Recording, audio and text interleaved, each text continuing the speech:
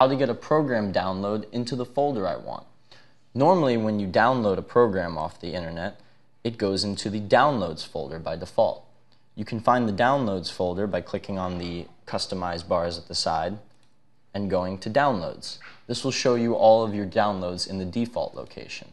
However, if you want to save them to a specific location, like maybe an external uh, flash drive, simply right click on the download go to Save Link As, and then you can specify the area where you want to download the program to. You'll notice that it's a .exe file. That's how you know it's a program installation. Simply click Save, and it will download to the location that you've just specified.